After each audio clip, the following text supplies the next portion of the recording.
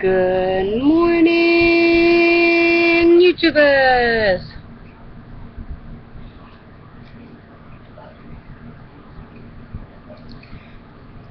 Chilled, refreshing, Dr. Pepper. Four servings, a hundred calories. This thing has 400 calories in it, and a one liter which is a quarts, which is 1.8 fluid ounces. Or it's a liter, however you want to say it. But anyway, I did my shameful wannabe promotion to uh, Dr. Pepper. Personally, I prefer it to be Coca-Cola. But that gas station only does Pepsi products, and I don't care for Pepsi no more. I used to. That's all I used to drink. Okay, we are on Malachi 4.6, the last of the Malachi. And then I'm not sure what I'm going to do. I guess I'll do what the Lord tells me to. So I'll be praying on that, huh?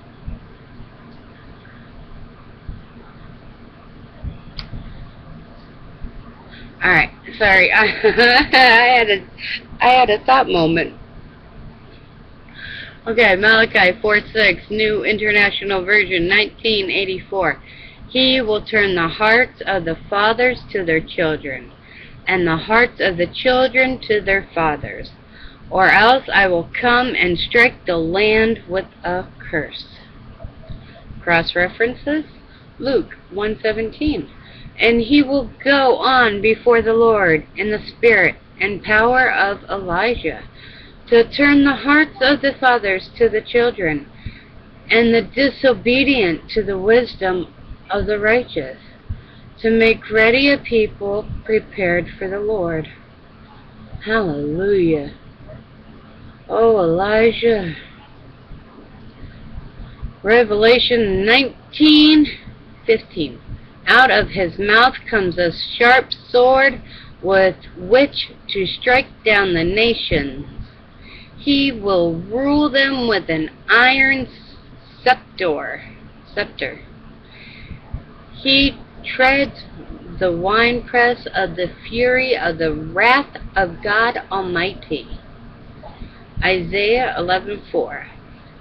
But with righteousness he will judge the needy with justice he will give decisions for the poor of the earth.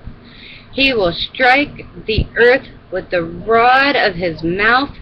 With the breath of his lips he will slay the wicked. Isaiah 43. A voice of one calling, in the desert, prepare the way for the Lord Make straight in the wilderness a highway for our God. Sometimes I can't help but I just start getting louder and louder, and I don't mean to be. Good thing that boy sleeps through anything. Good thing my husband's already up, huh? And that shall be it for Malachi. Did you guys enjoy Malachi? Did you guys get anything out of Malachi? And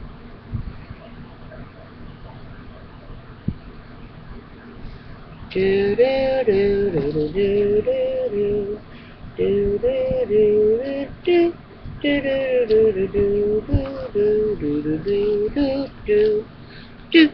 do do do do do and the final Jeopardy answer is...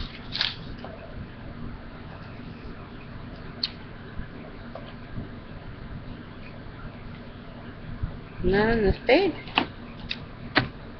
What?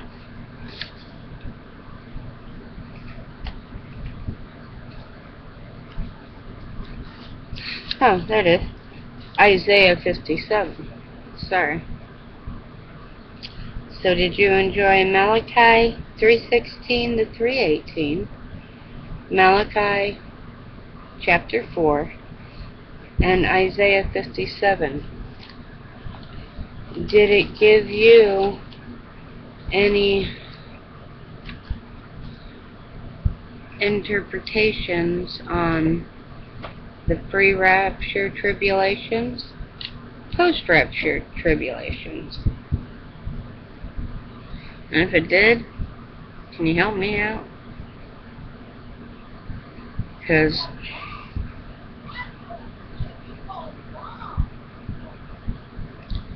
I I still don't. You know what? I'll pray on it. And I'll wait for God to answer me. Because here a little, there a little. And I have not mastered the Bible to understand where one verse starts and one chapter and where it ends and belongs to another chapter yet. I'm trying. So, if anybody got an understanding from Isaiah 57 or the Malachi's that I have done videos on, and you could maybe give me a little more insight, because even a watcher needs help. I will admit, I don't know any more than what I started with. I mean, there was one verse on one of the cross references for Malachi 18, 318. Um, that did give me a little more insight, but it was one of the cross references. So,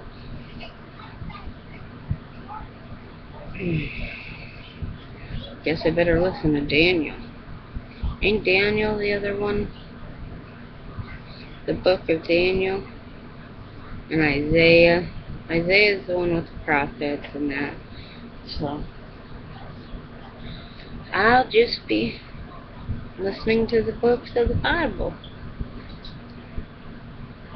So, my cats are playing. They're going all crazy and all. Tiger's going, shh. Alright, guys. I love you, my brothers and sisters. And I will see you in a few. Take care. God bless.